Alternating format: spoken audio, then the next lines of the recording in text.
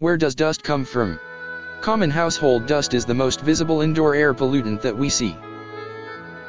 It is composed of many different sources and comes in all sizes. Dust normally contains skin flakes, textile fibers such as lint, plant pollen, human and animal hairs, dirt and soil, decomposing insects, and food debris. It can also include soot and particulate matter from cooking, smoking, and outdoor vehicle traffic. And more disturbingly, heavy metals such as lead and arsenic have been commonly found in testing, as well as pesticides such as DDT.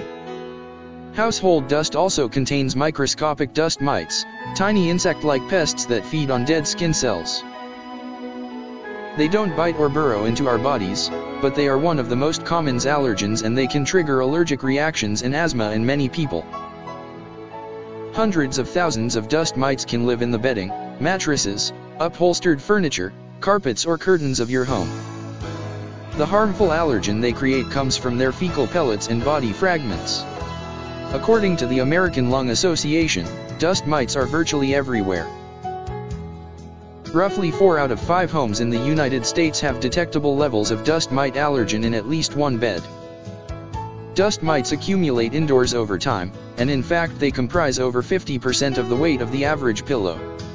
Large dust particles 20 microns in size or larger are heavy and tend to land on furniture or the floor. These particles tend to accumulate over time and can cause allergy attacks. Small dust particles less than 20 microns across are much finer and tend to float in the air.